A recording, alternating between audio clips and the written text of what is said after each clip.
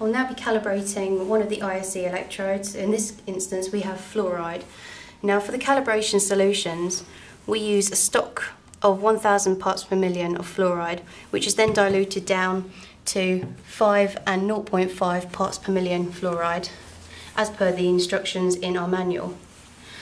Point 1 and point 2 are around 23 degrees and point 3 has to be 10 degrees below point 0.1 and 2.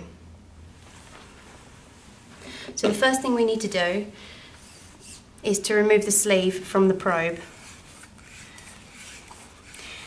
This is so that when we do point 0.3 there's not so much thermal mass in the probe. It allows the temperature to come down a bit quicker. We also remove the wiper arm from the probe.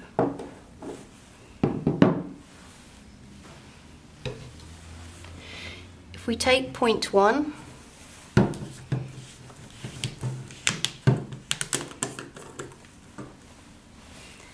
tip this into the calibration vessel.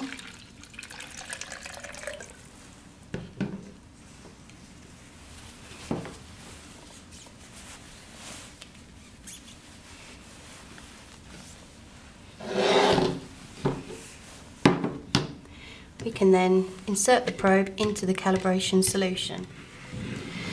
When calibrating the ISE electrodes, it's important to keep stirring as it prevents localized ionic depletion from the ISE electrode.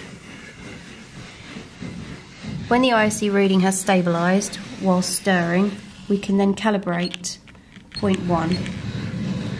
So we go into calibration, full cal,